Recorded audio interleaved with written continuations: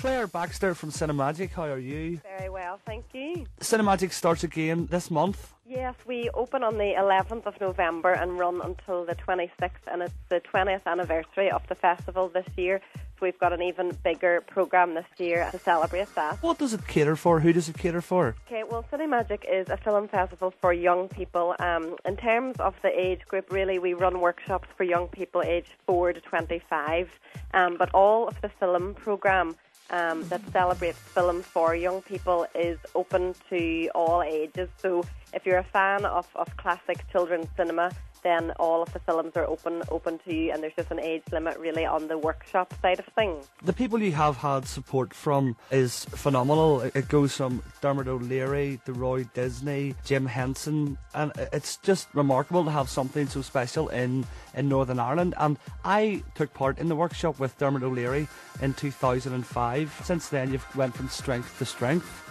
Yes, we're so lucky to have the support of so many industry professionals, as you said, the likes of Dermot O'Leary and Julian Fellowes, who's coming back to the festival this year to host a workshop, and local industry professionals as well, you know, local people in the, in the film industry here. So we're very lucky to have that support, and really it's, it's a fantastic way for young people to get involved in the film and television industry, to learn from industry professionals. So it really has developed over the years, and we have um, such, you know, such a lot of support from people in the industry, and it's a great festival for Belfast as well to have, as it's now like a really, you know, it's a really cultural event on the calendar every year. When you say you get to work with industry professionals, getting to do that from day one is a pretty big experience for people who have literally just started out or maybe just left college. Yeah, well, that's right. For young people aged 16 to 25, if they're really, you know, interested in a career in the film and television industry, then the Talent Lab event um, can cater for that. And it's a great way, really, to network with other young people who are interested in film and television making,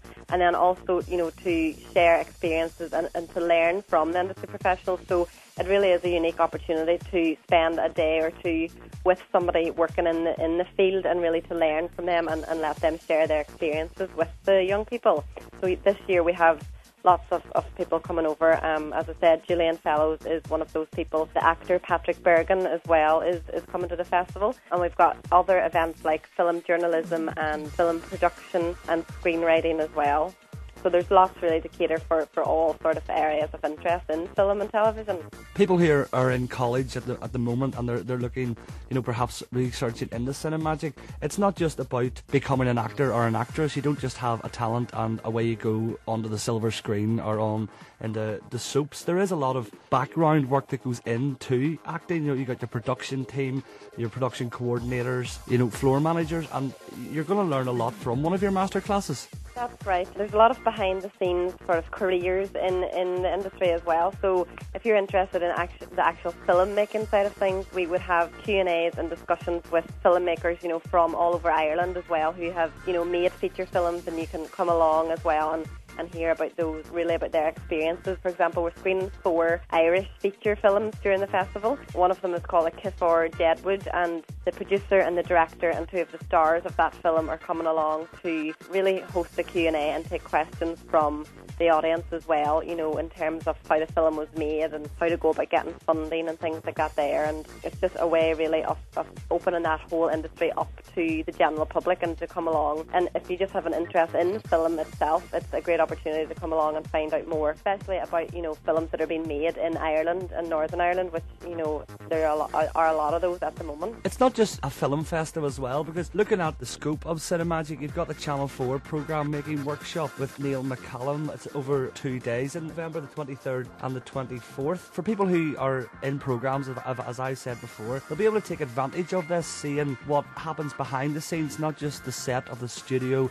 and the presenters. They'll see the cameramen, the crew, and, and everything else. Well, what exactly will happen with the Channel 4 programme workshop? For example, that is going to be a day in which young people can come along and actually, you know, pitch sort of a real life, um, you know, scenario, whether it's a concept for a television programme, and, and come along and pitch that really to the programme makers and the people from Channel 4. So it's a, an opportunity really to, you know, a practical opportunity and really to find out how, what goes into putting a programme together, the do's and don'ts of, of you know, coming up with a, a concept and thinking of your audience and who used to be pitched to and things like that. So as you said, it's not just about the presenting side of it or indeed, you know, the filming. It's all of the sort of brainstorming that goes on before a programme is, is put together and made. You've been working for Cinemagic for five years. Have you seen Cinemagic progress year to year and come up with, you know, support from people that you could maybe perhaps only have dreamt of having support with? Well, yes, over over the last five years, it has developed a lot, and we're very fortunate to have a lot of industry support, as I mentioned. And there are, you know, Oscar winners attending the festival, and it doesn't get much better than that. So to learn from people like Julian Fellowes, who has has won an Oscar, it is just such a great opportunity. And then over the years as well, you know, the festival has developed to include so many educational events for schools as well, things that are being taught in colleges and in the, in the classroom. That's sort of complemented with a lot of the workshops that we have on offer.